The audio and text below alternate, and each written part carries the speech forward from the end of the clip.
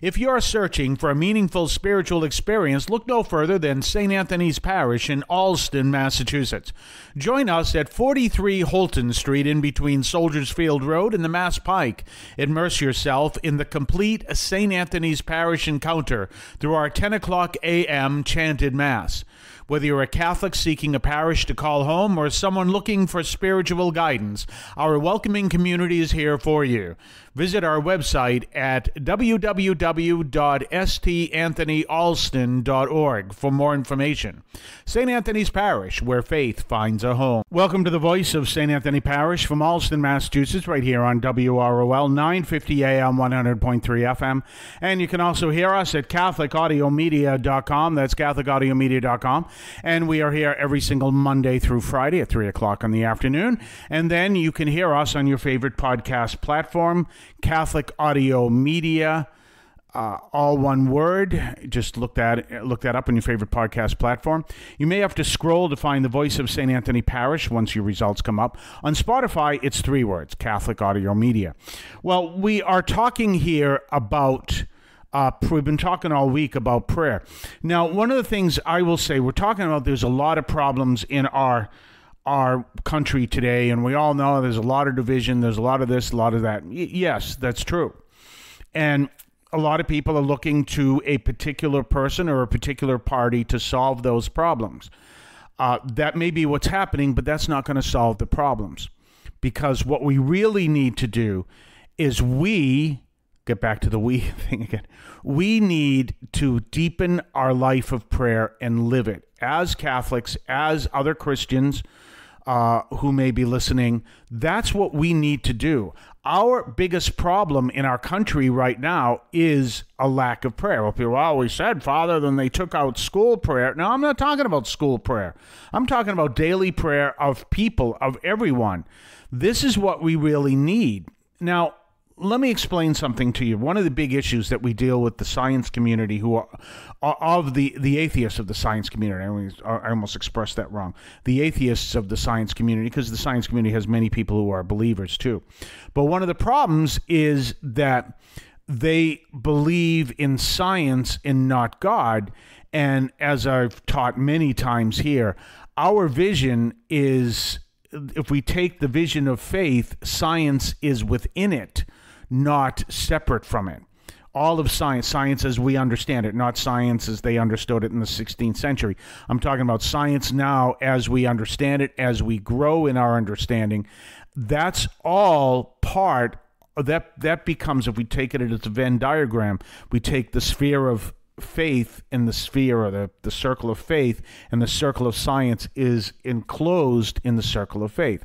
Now, something to understand. So so when we look at that, so when I turn around and I say I believe in God, I'm believing in God who I'm realizing is so big that God is greater than the universe because I believe he created the universe and therefore he's greater than the universe and therefore he is greater than all black holes and we understand black holes are huge much great. So you see what i'm saying?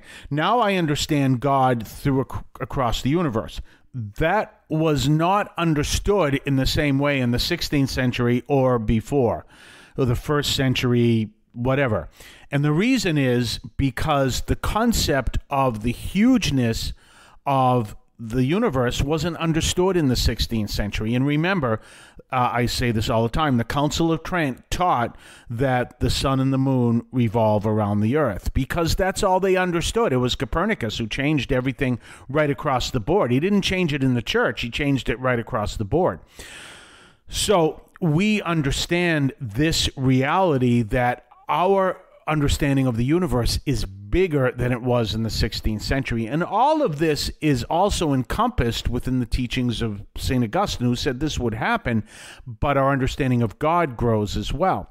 So, therefore, when we are people of faith, we're not just believing in some kind of a moral system. I teach this all the time at St. Anthony Parish, where you have a standing invitation to come at the 10 o'clock a.m. Mass.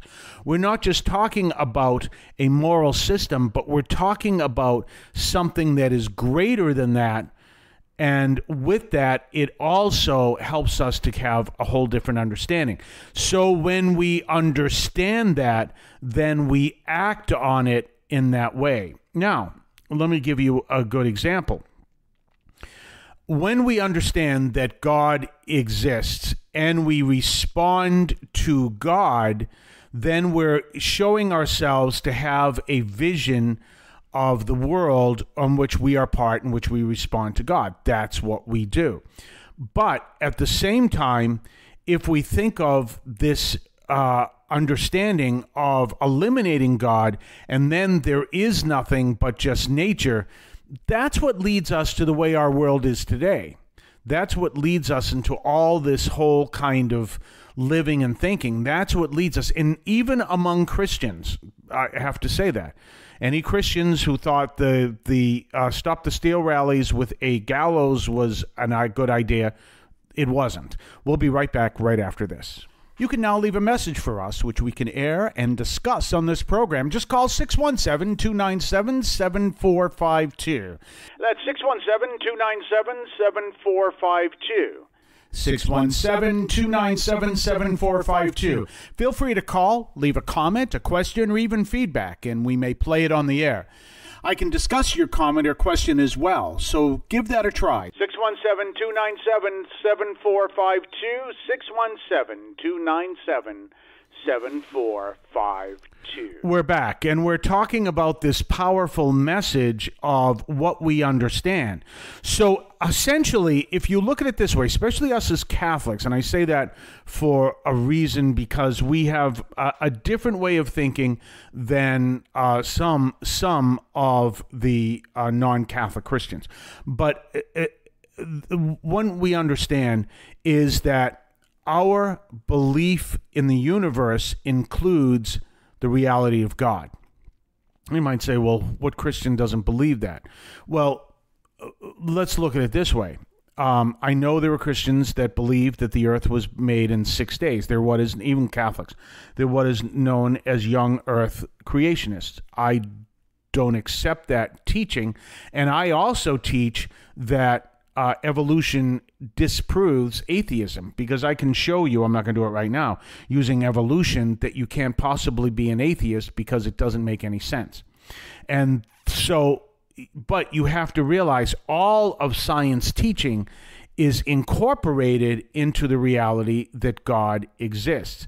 So, what that means is we can go to the limits of science and you're never going to uh, disprove the existence of God and we're called to go the limits of science, but we're also called to understand that God is part of that picture. And therefore, our actions must uh, uh, are called to reflect that. Now, let me give you an example. There are some people who uh, are not Christian; they reject Christianity because they insist that, or they believe that Christians insist that you cannot teach evolution in a science class okay, I'm a Catholic, I don't believe that. But I also believe that if you teach evolution in a science class, you will never in a million years be able to still disprove the existence of God. Uh, one of the things that we as people of faith believe is we don't believe in random evolution. Um, we believe in a God leading evolution some somehow, but we don't believe in random evolution. Okay, so this is how we understand it. But the minute I turn around and I say, well, I have decided that God does not exist, all my actions are going to reflect that.